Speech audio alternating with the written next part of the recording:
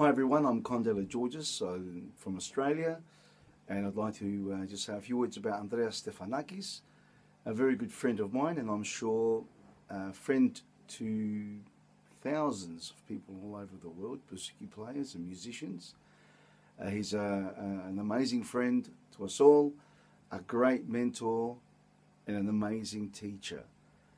So I'd like to thank him um, for all that he's done for myself um, in his friendship, mentoring, and also helping in my technique.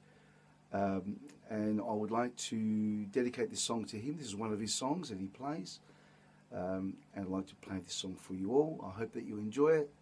This is to Andreas Stefanakis.